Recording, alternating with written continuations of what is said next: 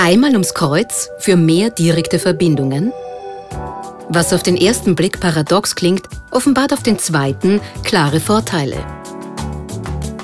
Aktuell fahren die Linien 2 und 46 parallel zueinander von Otterkring ins Zentrum.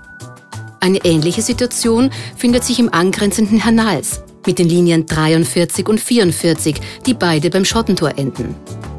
Die Fahrgäste haben also jeweils die Wahl zwischen zwei Linien, die sie aber an dasselbe Ziel bringen. Ab September wird deshalb getauscht.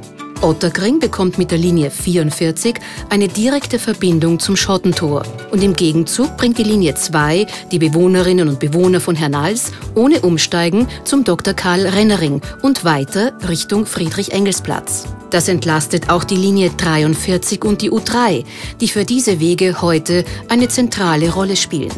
Die neuen direkten Verbindungen machen die Öffis auch für neue Fahrgäste interessant.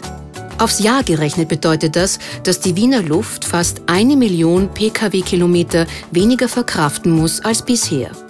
Am Johann Nepomuk Berger Platz wird dafür im wahrsten Sinne des Wortes Platz gemacht. Die Gleise wandern an den Rand und die aktuelle Haltestelle der Linie 2 in eine Seitenstraße. Durch neue Gleisverbindungen können dort außerdem künftig alle Straßenbahnen in alle Richtungen weiterfahren und dadurch Störungen besser ausweichen.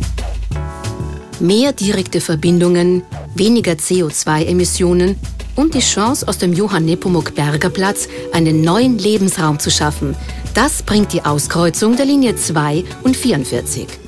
Ein Tausch mit Mehrwert.